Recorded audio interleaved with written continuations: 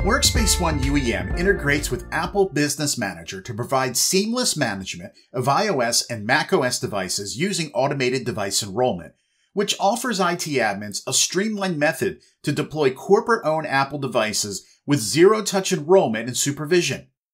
In this video, I will walk through the process of integrating Apple Business Manager with Workspace ONE UEM for automated device enrollment.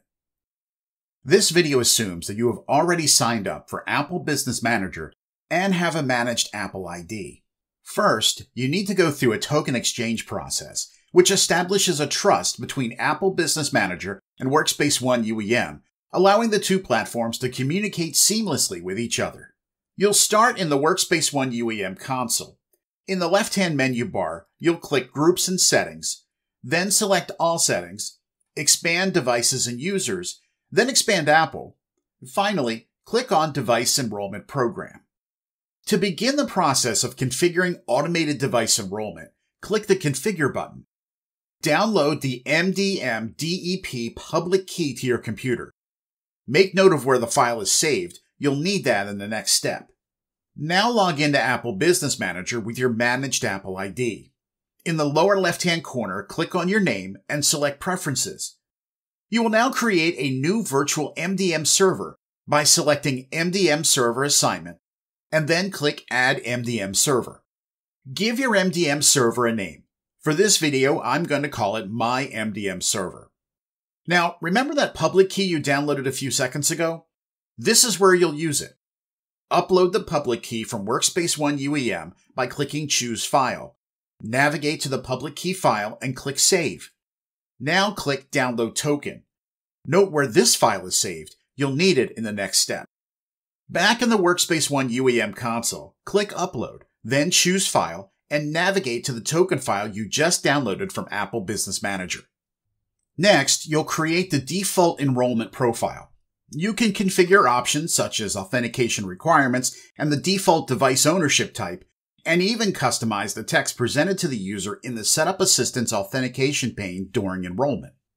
Then you can configure the MDM features for the profile, such as whether MDM enrollment is mandatory or whether the MDM profile on the device is locked, which restricts user deletion of the profile. Next, you can configure the screens displayed to the end user during the Apple Setup Assistant. You can enable or disable options like Biometric ID, Apple ID and iCloud Sign-In, Apple Pay Setup, and many others.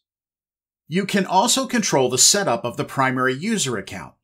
You can configure the account to be either a standard account or an administrator, manage the naming of the account, and even whether the end user can edit the account before creation. When you click Save, the profile is saved and assigned to all devices that are associated with that Apple Business Manager token. You'll see that the profile is now listed in Workspace ONE UEM and is being assigned to all devices. You can return to this same screen if you ever need to edit this profile or create other enrollment profiles. Back in Apple Business Manager, you can find an unassigned device and assign it to your newly created MDM server. Once you are done, Apple Business Manager assigns the device to that specific token. In Workspace ONE UEM, the device is not known to UEM and not assigned the enrollment profile until you sync Workspace ONE with Apple Business Manager. You can force the sync to happen immediately, or you can wait for the scheduled job to perform the sync automatically. By default, Workspace ONE UEM syncs with Apple Business Manager every 24 hours. To manually initiate the sync with Apple Business Manager, you can click on Devices and then select Lifecycle and click on Enrollment Status. You'll notice that there are no devices currently listed. If you click Sync Devices, Workspace ONE will sync all devices from Apple Business Manager. And once you refresh the page, you'll see the device that was just assigned to the new MDM server. You can also create additional enrollment profiles in UEM simply by clicking the Add Profile button. For this video, I'm going to call this new profile My Enrollment Profile and make a couple small changes to the Setup Assistant. Once you have the new profile configured, you can sync it to devices that have already been synced with Apple Business Manager but have not yet been enrolled. Back on the enrollment status screen, you'll note that I still have one device waiting to be enrolled. If you change the layout to custom and then scroll to the right, you'll see that this device is assigned to the default enrollment profile. Scroll back to the left and select the device. Then choose Assign Profile from the More Actions menu. This will allow you to change the enrollment profile for this device.